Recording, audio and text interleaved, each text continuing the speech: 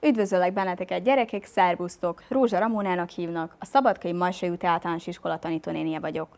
A mai magyar órát ismét velem fogjátok eltölteni, és ha ugyan az előző órán is, most is hoztam egy találós kérdést, és a találós kérdés megfejtésével, vagy megfejtéseivel rá fogunk jönni, hogy a mai óránknak ki vagy kik is a főszereplői.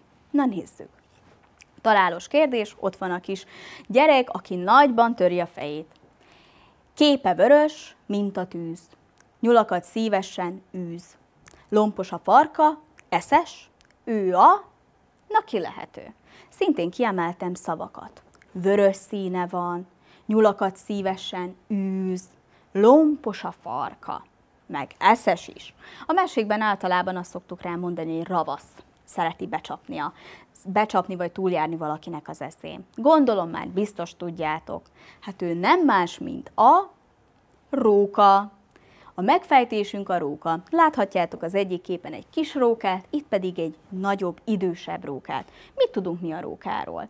Ugye látható, hogy vörös színe van, akkor ugye ravasz, általában mesében mindig ezt szokták mondani róla, valamint lompos farka van, és nagyon szeret ugye lopkodni, főleg baromfikat. Na de, ő az egyik főszereplőnk, de van még egy, de itten nem találós kérdést hoztam, hanem képeket. Biztos, hogy most már, vagy manapság szoktatok látni ilyen madarakat, fekete madár, vagy például üres tisztásokon, szántóföldeken egyre többet ott szoktak lenni, hangokat adnak ki, de lehet, hogy akár a kertetekben is meg szoktak jelenni. De lehetséges, hogy ez egy kicsit nehéz is.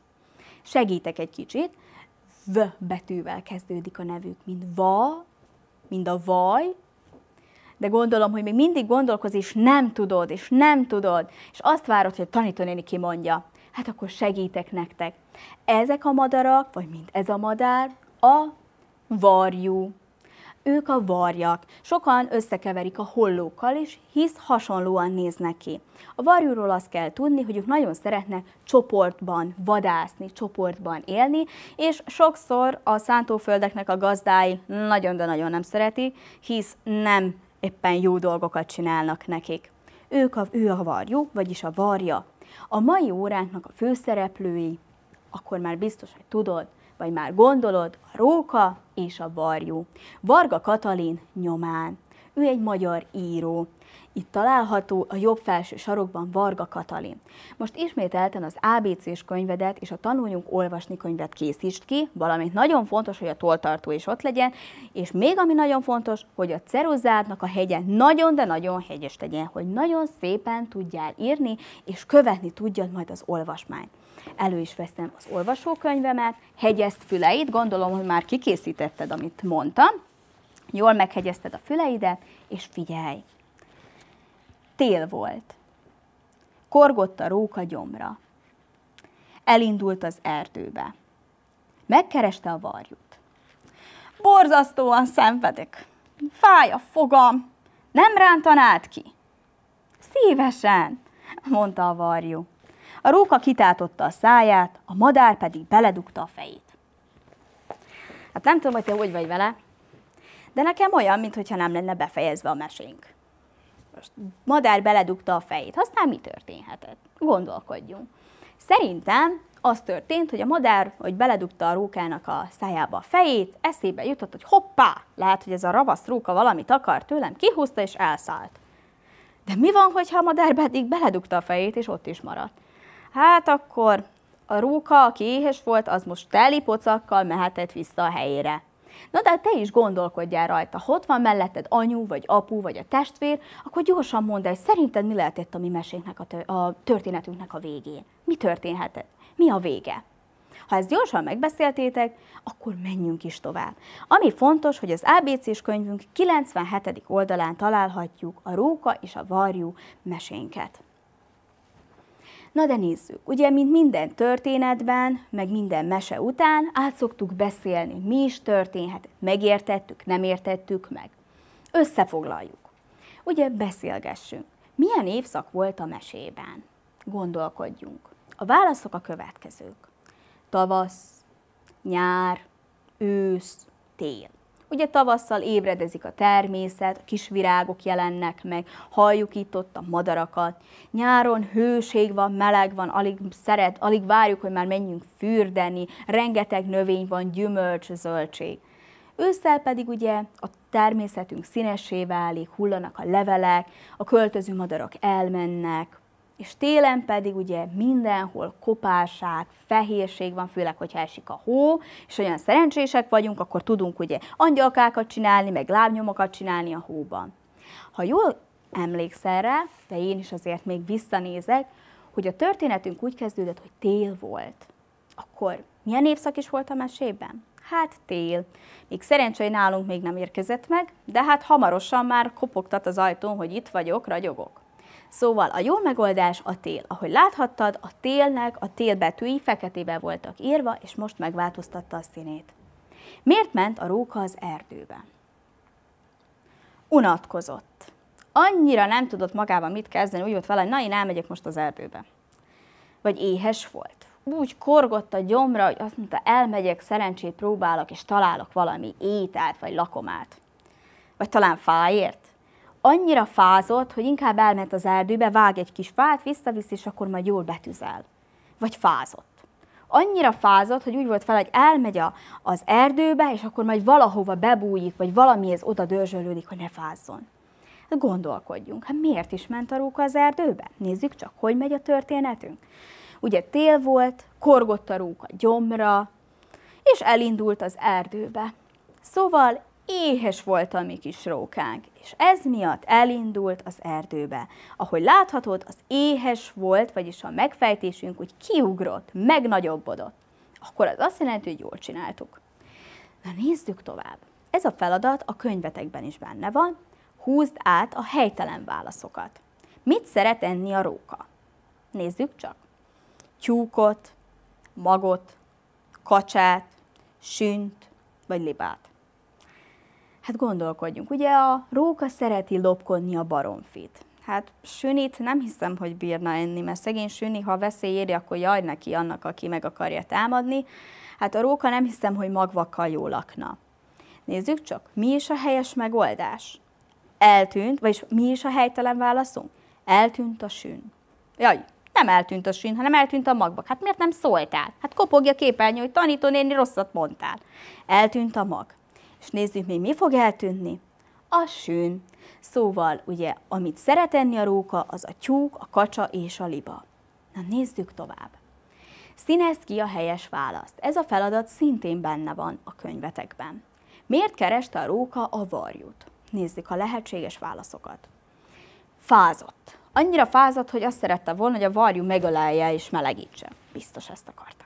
Vagy fájt a foga? Úgy fájt a foga, hogy szerinte a varjú a legjobb fogorvos, aki majd ki tudja húzni neki a fogát. Vagy meg akarta enni. Úgy korgott a gyomra, hogy eszébe jutott, hogy van egy varjú az erdőben, és megkeresem. Na nézzük csak a történetet, hogy is indult. Ugye tél volt, korgott a róka gyomra, elindult az erdőbe, és megkereste a varjút. De mit mondott ő a varjúnak? Hogy jaj, de éhes vagyok? Nem hanem azt mondta, hogy borzasztóan szenvedek, fáj a fogam, és hogy nem rántanált ki. Igazat mondott a róka. Tényleg az volt neki a baj, hogy fáj a foga, és azért kereste meg a varjút. Nem, nem. Éhes volt a mi rókánk, és azért kereste meg a varjút, hogy megegye. Nézzük csak, jól gondolkodtunk, mi jól válaszoltunk. És igen, kiemelkedett, a meg akarta enni. Hát nagyon jó vagyunk, olyan jó viselkedünk, és olyan szépen figyelünk, hogy ezt el se tudom hinni. Na nézzük, mi a következő mondatunk. Milyen volt a varjú? Okos, ravasz, hiszékeny vagy bátor? Na nézzük, az okos, az ugye eszes, jól gondolkodó. Okos volt? Vagy ravasz volt? Ugye a ravasz mit jelenthet? Becsap valaki, túljár az eszén, Mit jelenthet még a hiszékeny például? Hiszékeny, az meg mindent elhisz. Könnyen be lehet csapni. Vagy bátor volt. Bátran kiállt a rókának, hogy nem fogom kihúzni a fogat. Hát nem ez történt. Nem állt ki bátran se. Mit csinált a mi, rók, a mi kis varjunk? Hát ő hiszékeny volt, ő hiszékenyen elhitte azt, hogy tényleg a róka azért jött, hogy ő neki kihúzza a fogát. Na de jó gondoltuk mi ezt? Persze, hogy jó gondoltuk, hiszékeny volt, ki is emelkedett. De milyen volt a mi rókánk, a mi róka kománk, ugye? Milyen volt, mi volt vele? Ugye fájt a hasa, mert éhes volt, megkereste a varjút, és azt hazudta neki, hogy fáj a fogam, húzt ki. Becsületes volt a róka? Szerinted becsületesen elmondta neki, hogy valójában mi történt? Vagy gyáva volt? Nem mert elmenni az erdőbe, mert úgy félt reszketett? Vagy ravasz volt? Ravasz volt, szerinted? Mit csinált? Azt mondta, ami, ami volt neki valójában? Vagy túljárt az eszén? Ostoba volt? Butácska volt? Hát, hogyha jól gondolkodunk, ugye az volt a történetben, hogy amit már mondtam is nektek, hogy korgott a gyomra, és azért ment el az erdőbe, hogy megkeresse a varjút, majd ugye azt hazudta neki, hogy jaj, de fáj a fogam, segíts, vedd ki, és amikor ugye a varjú hiszékenyen beletette a fejét a szájába, hát ugye azt a mesét meg folytathatnánk, hogy mi is lehetett a vége. A mi rókánk az bizony ravasz volt, mint általában a legtöbb mesében ravaszjelzőbe szokták őket illetni. Ki is emelkedett, hogy ravasz. A Tanuljunk olvasni könyveteket vegyétek most elő. A 60. oldalon találhatjuk a Róka és a Varjú című meséhez lévő feladatokat. Biztos, hogy már elővetted, vagy voltál már olyan ügyes, hogy előre elkészítetted, mert tudtad, hogy a tanítanő biztos ezt fogja mondani. Na nézzük is a feladatot. Milyen sorrendben történtek az események? Számozd meg. Nagyon figyeljél, most olvasni is fogom a történetet, olvasni is fogom a történetet, és közben figyeljük a mondatokat. Az első mondatunk az, hogy a varjú beledugta a fejét a róka szájába, a másik az, hogy a róka panaszkodott a varjúnak, a harmadik, hogy a róka kitátotta a száját, a róka megkereste a varjút, vagy a róka éhes volt. Hogy kezdődik a történetünk? Nézzük csak. Tél volt, korgott a róka gyomra. Az egyes számot hova is fogjuk tenni? Hát mi történt? A róka az éhes volt. Nézzük csak. Hol fog megjelenni az egyes szám? Az utolsó mondatnál. A hegyes ceruzával akkor az utolsó mondathoz írt szépen az egyest.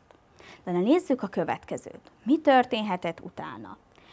Megkereste a varjút. A róka megkereste a varjút szerinted? Megkereste. Az egyes szám után ide a második mondathoz, vagyis az utolsó előtti mondathoz odaírod, hogy kettes. Jaj, hát ez a tábla előre haladt. Képzeljétek, a tanítónéni úgy megnyomta, hogy előre haladt. A róka megkereste a varjút, és utána pedig mi történt? A róka panaszkodott a varjúnak. Így volt. Ugye mit mondott a róka? Hogy jaj, borzasztóan fáj a fogam, légy szíves, vedd ki. Hát panaszkodott. Na de nézzük, mi történt utána. Ugye kipanaszkodta magát. Mit csinált a varjú?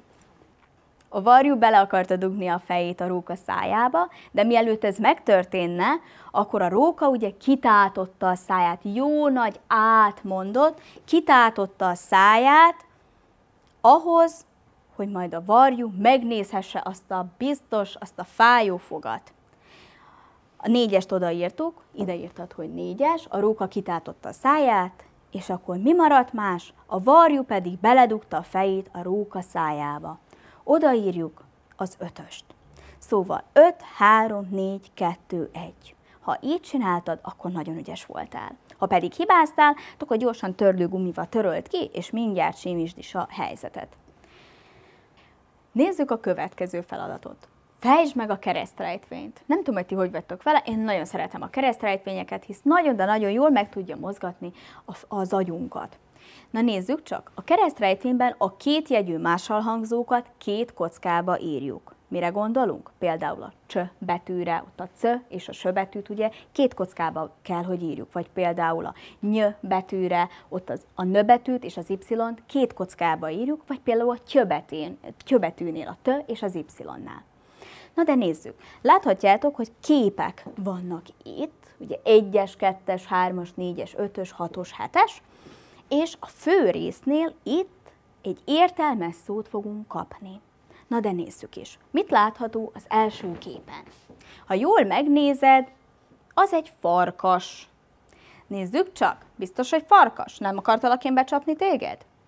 Jól megnézed? Hallom, hogy már mondjátok, hogy farkas, farkas. Így van oda a farkas kerül. Beírjátok szépen, farkas. Láthatunk így egy főbetűt, ez már a megfejtett szónak az első betűje. Jön a következő. Mi látható a kettes képnél? Egy nagyon jámbor, aranyos kis állatot láthatunk rajta. Hogy hívják őket? Szoktuk az erdőben is látni őket, főleg ha megyünk például utazni, és egy erdős részen haladunk el, akkor van, hogy átszalad az úton. Hát hogy hívjuk őket? Hát az őzike. Nézzük csak. Jól gondoltuk? Őzike. Nagyon jók vagyunk. Oda került az elbetű, most már alakulunk. Nézzük a hármas képen, mi látható. Hát őszintén szóval én hirtelen, amikor ránéztem a hármas képre, azt hittem, hogy levél. Be is írtam, hogy levél, és rájöttem, hogy nem jó. Hát akkor elkezdtem gondolkozni, hogy tanítóni, te nem jól látsz, akkor jobban megnéztem, megnéztem, és eszembe jutott, hogy mi a megoldás. Hát a fenyőfáknak a termését hogy szoktuk hívni? Hát az a toboz. Nézzük csak, jól mondtuk? Toboz. Már a középső rész alakul. Na nézzük a negyedik képen. Mi látható itt? hogy hívták, vagy hogy hívják az a mesénknek az egyik főszereplőjét. Ugye az egyik szereplője volt a róka, a másik pedig a varjú. Gondolom, hogy már kiáltottad, hogy varjú. Nézzük, jól gondoltuk? Igen, be is írod ide szépen, hogy varjú. Nézzük az ötös. Ötös képen. Ki látható? Hát ugye az embernek a leghűségesebb társa, egy házőrző. Ő pedig nem más, mint a kutya. Nagyon jó. Beírtuk szépen, hogy kutya. Már itt vagyunk a hatosnál, nagyon sebesen, gyorsan csináljuk. Hatosnál mit látunk? Milyen állat ez? Ez egy madár. Bizony, bizony, már érzem, hogy mondod, hogy madár. Nézzük csak. Beírtuk szépen, be is fért, madár. És az utolsó képen kivételesen nem egy állat van, hanem mi van? Milyen zöldség ez? Nekem a nagymamám még mindig azt mondták, mikor kicsi voltam, hogy egyél sok, ezt mert ak- akkor utána bírunk majd jókat fütyülni, vagy hogy jó lesz a szemünk tőle. Na micsoda ez? Már hallom, hogy mondod, hát a répa, a répa. És beírtad a hetes számhoz, hogy répa. És hogyha jól írtuk és jól csináltuk a feladatot, akkor itt a közepén megjelent a megoldás, mégpedig a február szó. És mindezt ide is bebírjuk írni szépen, beírod a februárt, és hogyha jól csináltuk, akkor ki is fért. Mit tudunk mi a februárról? Mi a február? Egy név? Vagy egy állat? Vagy egy növény? Jaj, tanítónéni, miket mondasz? Ez nem is az. A február az egy hónap, egy téli hónapunk, az év második hónapjáról van szó, és ami a legfontosabb, vagyis ami akkoriban szokott történni, amikor maszkokat készítünk, és ugye falsangra készülünk, vagy például felvonulásokat tudunk szervezni, csörömpölünk fazékkal. Miért is? Azért, hogy előzzük a telet, és jöjjön a tavasz. Ha beírtuk, akkor menjünk tovább. A Tanuljunk olvasni könyvünk utolsó feladata, folytasd az írás elemek kapcsolását kör és alsó urokkal. Ezt a feladatot fejezd be, ahogy láthatod, ez egy göbetű, befejezed, és utána a füzetedbe pedig még egy sort írjál.